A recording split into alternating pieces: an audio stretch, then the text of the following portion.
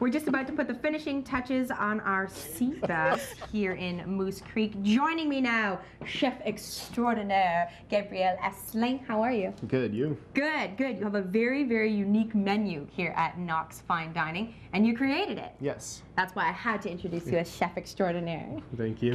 Where did the ideas come from? You've got like a, a red deer rack Yes. and, and quail. These aren't things that you find on a typical menu. no, uh, it's something that uh, I'm classically French trained, Mm-hmm. that we work a lot with stuff like that, like wild games and uh, poultry. And, uh, also, I like to uh, get the local purveyors in, which is the red deer rack uh, from Rankley Kill. Okay. I get a lot of stuff from him.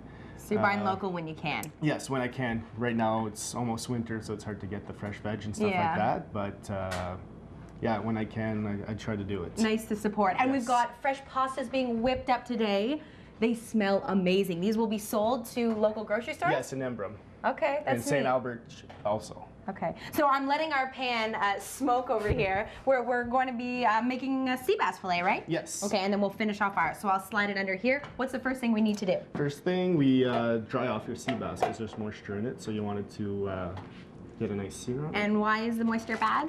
Bad because it uh, you don't get a nice sear on it. It's gonna be all mushy and No one wants the mush- yeah, mushy sea bass. Okay. so then you uh, salt, pepper on top. All right. Then you put it in the flour. Now we're gonna flour it. Yes. Okay, can I do it? Yeah, go for it. Okay, just a spin. Yeah. Again? That perfect. Yeah, that's perfect. Okay. And then we just put it in the pan. Skin down or, or uh, Uh, fillet down? Fillet down. Fillet down. Yeah. Okay, woo. pan and what have you got in your pan there? Just oil. A little bit of oil. Oil. Okay. So let it cook for a little bit, get a nice crust on it, and then we're gonna turn it, put it in the oven, and it's good to go. You want to leave it in the oven for about three to five minutes Mm-hmm. till uh, it's cooked. Why Uh, do you can- need the oven? Pardon? Why do you need the oven? So you is like are you searing Just to it finish, yeah, just to Okay. finish it up. so you make it crispy on the outside. Yes. Get a nice crisp also on the on the skin when you put it in the oven. Now do you get this whole piece when you come? Yes. You Okay, get the whole it's fillet. A nice size So portion. it's a two two fillet fish, uh, and this is European sea bass. It's not Chilean.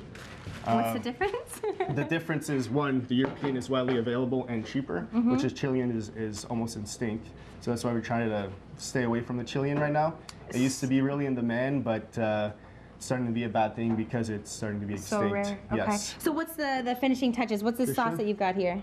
So we got a virgin sauce, which is a cold sauce with uh, balsamic, Mm-hmm. olive oil, tomatoes, fetas, capers, onions, and uh, Italian parsley. It smells really, really good. Do you make this here? Yes, yes, we do. We make uh, pretty much everything from scratch. The desserts, everything It's great. from scratch. So Okay, then- so we've got a blob of our. So then we just top it like this, Mm, a bit more.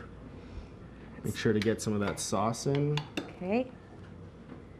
All right. And then we just finish with the garnish. You can tell I'm ready. I'm ready to try it. It smells so good. And then we've got some broccoli and some red potato. Red potato? Yeah, red that right? potato, uh, asparagus, red Mm-hmm. bell pepper. So then you just finish it off like that, and it's good to go. So when uh, people come to Yes. Knox Fine Dining for the first time, what dish do they have to try? I'd say uh, the red deer or the quail are pretty much my favorites here. Uh, the sea bass too is uh, very special because not a lot of restaurants have the Euro- European sea bass on there. Uh, for desserts, uh, the creme brulee or the chocolate mousse are, are uh, staples. I was eating the creme brulee Yes. earlier. Thank you so much for letting us into your kitchen. You're welcome. Um, head to the Knox Fine Dining website for all of the information. Here we go. Moment of truth. Perfect. Mm. I love this topping. Mm, really good. Come check it out.